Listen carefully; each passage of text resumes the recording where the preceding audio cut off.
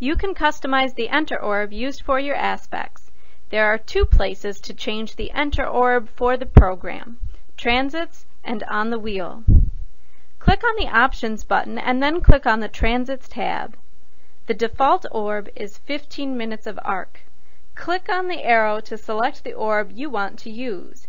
You can go to as close as 5 minutes and the largest can be 1 degree.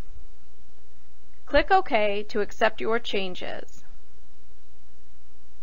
This setting affects the major transits, the ones displayed for the day in the second bar of the scan. Now click on Options again and click On the Wheel. The On the Wheel orb is set in time and not in degrees, so you can set it from 1 to 5 minutes of time. Click on the arrow to select the orb of time you want to use. Then click OK to accept your changes. This setting affects the on-the-wheel aspects for the hour, the ones displayed at the bottom of the scans.